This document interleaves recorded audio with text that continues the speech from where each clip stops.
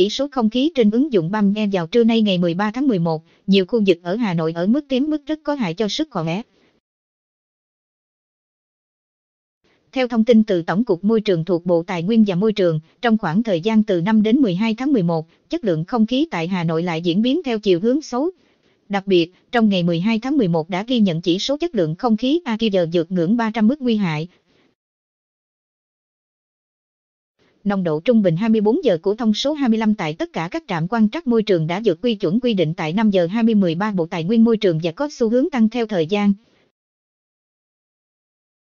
Trong các ngày từ 5 đến 12 tháng 11, có trạm quan trắc môi trường đo được nồng độ trung bình 24 giờ của 25 vượt hơn 2 lần so với 5 giờ 2013 Bộ Tài nguyên Môi trường.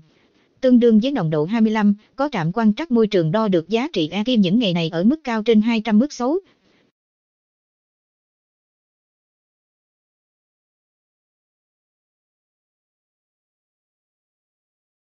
Khoảng thời gian ghi nhận nồng độ 25 tăng cao là vào lúc nửa đêm và đầu giờ sáng, đó là các khoảng thời gian lặng gió và hiện tượng nghịch nhiệt dễ xảy ra. Vì vậy, các chất ô nhiễm trong không khí, trong đó có 25 tích tụ trong không khí, không thể phát tán lên cao và đi xa.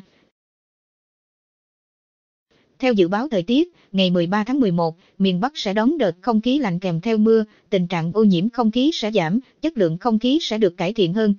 Tuy nhiên, theo ghi nhận từ sáng sớm đến trưa ngày 13 tháng 11, chất lượng không khí ở Hà Nội vẫn không được cải thiện gì nhiều. Giữa trưa nhưng tại khu vực cầu Long Biên vẫn miệt mù, tầm nhìn xa không quá 1 km. Dưới lòng sông, các phương tiện tàu, thuyền di chuyển gặp khó khăn do tầm nhìn xa bị cản trở. Tại khu vực Hồ Hoàng Kiếm, mặc dù giữa trưa nhưng lớp sương mù kèm và lớp bụi khiến cho khung cảnh thêm mờ ảo. Đứng bờ hồ bên này, nhìn kỹ mới thấy bưu điện Hà Nội. Trên đường, người dân bịt kín khẩu trang khi ra đường vì ngoài lớp sương thì vẫn còn rất nhiều bụi trong không khí mà có thể cảm nhận được.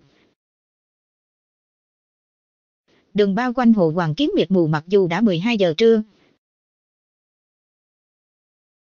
Tại khu vực đường Yên Phụ, tình hình chất lượng không khí và độ mù mịt không khác nhiều. Khu vực Lăng Bác cũng mờ ảo mặc dù đã 12 giờ 15. Khu vực Lăng Bác nơi được xem như có nhiều cây xanh, không khí trong lành bậc nhất Hà Nội trong màn sương, bụi mờ ảo.